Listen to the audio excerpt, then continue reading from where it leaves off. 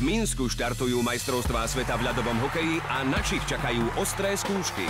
Česko a Kanada sú našimi prvými súpermi v skupine. Už v priebehu 24 hodín sa ukáže, ako stoja naše ambície a kam sa môžeme zaradiť.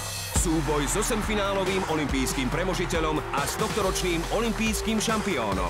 Slovensko-Česko a Slovensko-Kanada, piatkový a sobotnejší večer na jednotke vo vysielaní Rádia Slovensko a na hokej.rtvs.sk.